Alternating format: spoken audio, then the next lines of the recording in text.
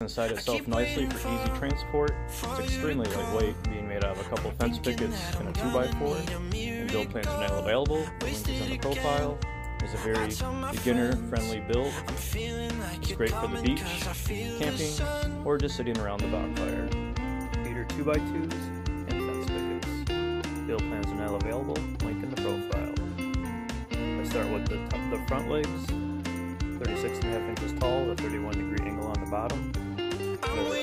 Another 10 and a half inches up. First brace piece on. I it over and attach the second brace Using wood glue, 3 inch Then for the long legs, I measure 14 and a half inches up and attach the last brace. I put pocket holes in the seat supports.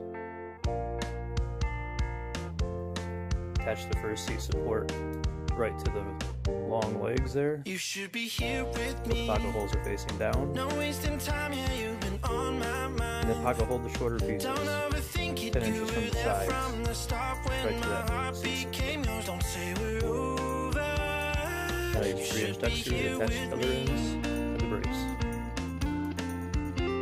test fit, then attach the seat panels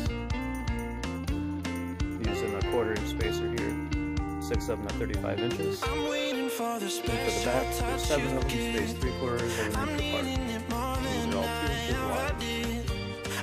I did add some back supports too, but just like that, we have our outboard done.